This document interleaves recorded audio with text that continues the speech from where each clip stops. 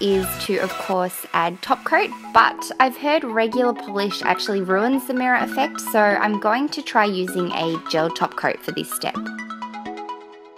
I'm then going to set this for about 30 seconds using an LED lamp.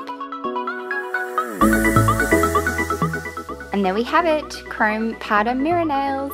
Unfortunately, I think the top coat discolored the chrome finish a bit and kind of dulled the mirror shine. But overall, I'm really impressed with this stuff. I'm going to keep playing around with it a bit and trying different base and top coat combinations to see which ones work best. But in the meantime, let me know in the comments below what you guys think. Thanks so much for watching. Don't forget to subscribe to my channel and give this video a thumbs up if you like it. And I'll see you in my next video. Bye!